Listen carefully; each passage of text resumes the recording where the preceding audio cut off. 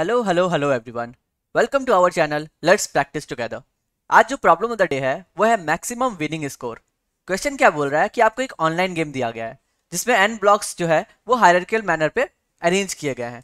मैं आपको simply question की तरफ़ समझा देता हूँ, आप एक बार पढ़ लीजिएगा स्टेटमेंट और उसके बाद देखिएगा कि क्या आप स्टेटमेंट पढ़कर समझ सक रहे हैं कि हम लोगों को क्वेश्चन कैसे बनाना है।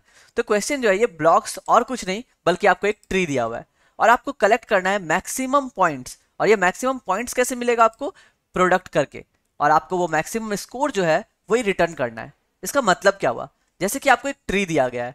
आप सिर्फ़ एक पाथ को चूज़ कर सकते हो। आप फोर के साथ टू के साथ टू के साथ जा सकते हो। या फोर के साथ टू के साथ वन के साथ जा सकते हो। या फोर एट थ्री जा सकते हो। या फिर आप फोर एट फोर जा सकते हो। तो यहाँ पर हमने देखा कि हमारे पास टोटल चार वेज है जाने के लिए। करेक्ट अब आपको डिसाइड करना है कि इन चारों वेज में से प्लेयर जो है वो कौन सा वे चूज़ करेगा कि उसका प्रोडक्ट जो है वो सबसे ज़्यादा मैक्सिमम हो? क्योंकि वही प्रोडक्ट ही है, उसका स्कोर बताता है।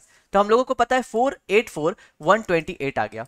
तो यही है आपका आज का क्वेश्चन ये जो पूरा स्टेटमेंट दिया हुआ है ना, कि हम लोग एक गेम खेल रहे हैं, जिसमें जो आपका ब्लॉक्स है, वो एक अरेंज किया गया है हायरकल मैनर में एंड एवरीथिंग आपको जो पॉइंट है वो करना है प्रोडक्ट और आपको एक मैक्सिमम जो वैल्यू है, वो रिटर्न करना है। तो मैंने आपको शॉर्ट वे में समझा दिया कि ये क्या है, कि एक आपको ट्री दिया हुआ है, और आपको फाइनल जो है मैक्सिमम प्रोडक्ट बताना है कि किस पाथ में मैक्सिमम प्रोडक्ट होगा।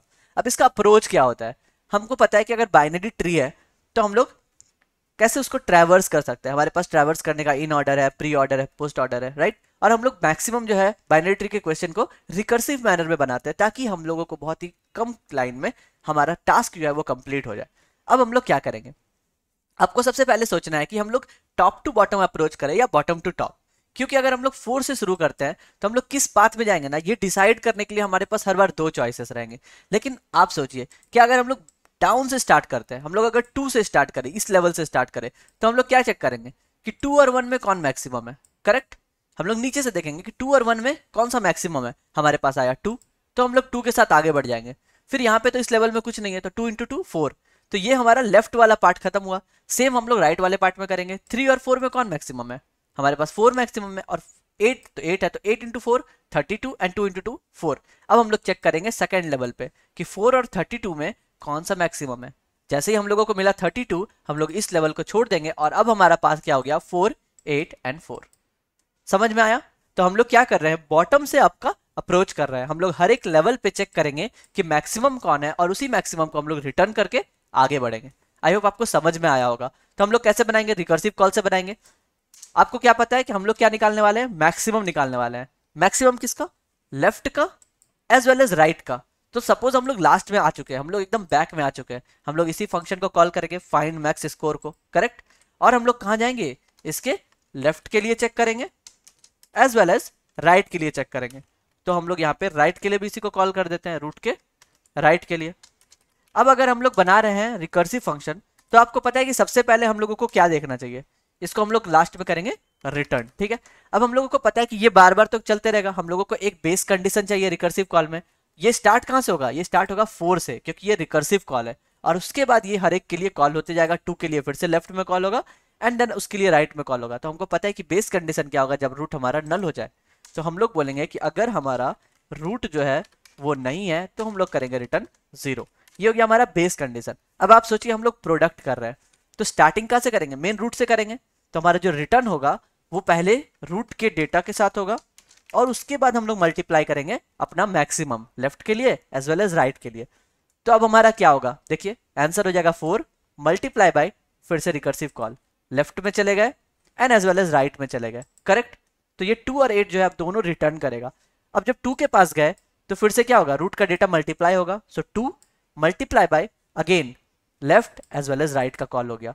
लेफ़्ट और राइट का कॉल हुआ तो हम लोग क्या देखेंगे? फिर टू के लिए कॉल हो जाएगा।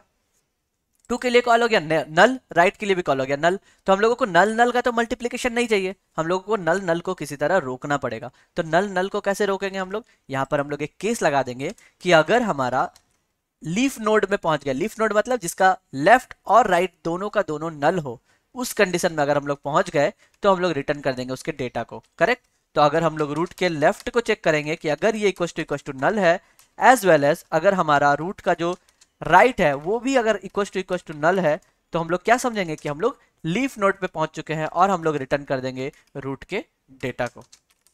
आई होप आपको समझ में आया होगा। तो अब जब टू के पास पहुँचे ना तो ये नेक्स्ट नहीं जाएगा, क्योंकि टू का लेफ़्ट और टू का राइट दोनों नल है तो ये भेज देगा टू को, और इधर भेज देगा वन को। अब हम लोग यहाँ पे चेक कर रहे हैं टू और वन में मैक्स कौन सा है? तो मैक्स हमें निकला टू और आगे से हम लोग मल्टीप्लाई भी किए थे रूट डेटा को तो टू इंटू टू फोर अब ये जो फोर है, ये किसको रिटर्न आ गया?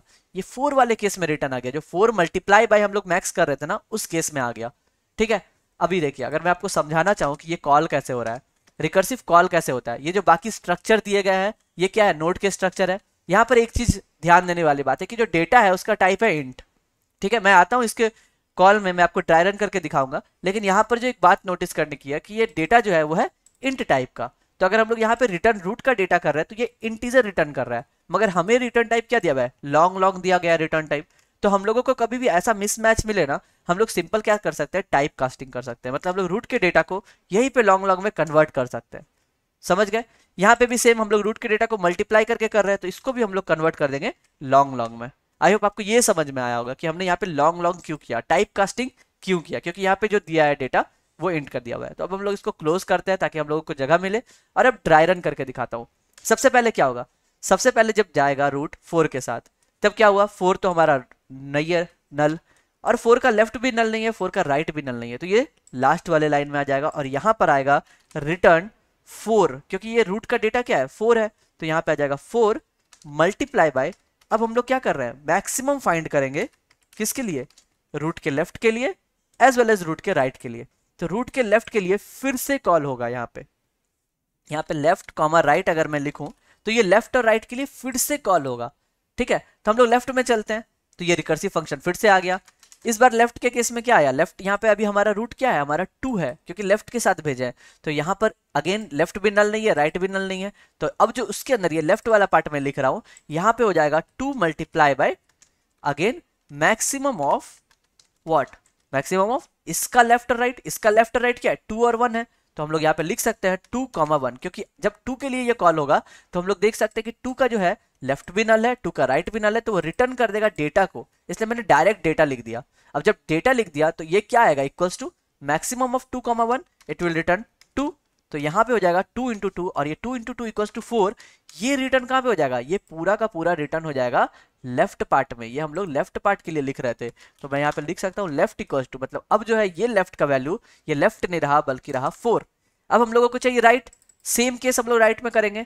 तो यहाँ पे क्या आ जाएगा? रिटर्न ये राइट के लिए अगर हम लोग लिखे तो राइट के लिए हो जाएगा return eight into again maximum among what eight का चाइल्ड क्या है? थ्री एंड फोर और थ्री और फोर के लेफ़्ट और राइट दोनों नल है, इसलिए हम लोग रिटर्न डेटा करेंगे तो यहाँ पे आ जाएगा three comma four which is what maximum हो जाएगा four so eight into four ये रिटर्न किया eight into four which is equal to thirty two तो ये थर्टी टू कहाँ पे आएगा? राइट right में आएगा मतलब इसके लिए जो रिकर्सिव कॉल हुआ था, उसके लिए आ जाएगा थर्टी टू अब हम लोग मैक्सिमम देख रहे हैं फोर और थर्टी टू में क्या है? थर्टी टू है तो ये क्या रिटर्न करेगा?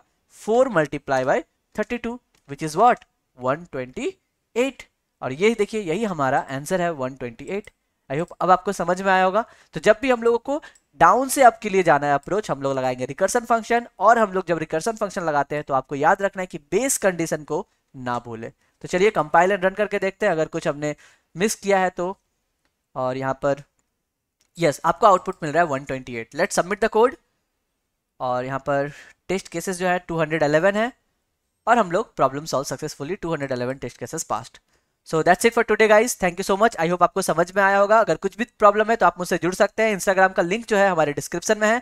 और मैं बार बार कहता हूँ कि आप एक बार खुद से कोशिश कीजिए क्वेश्चन बनाने की, और उसके बाद सॉल्यूशन देखिए, आपको बहुत अच्छे से समझ में आएगा, और आपके लिए बहुत ही बेनिफिशियल होगा। तो चलिए, कल फिर मिलते हैं नए क्वेश्चन के साथ। तब तक के लिए goodbye stay blessed stay safe and keep coding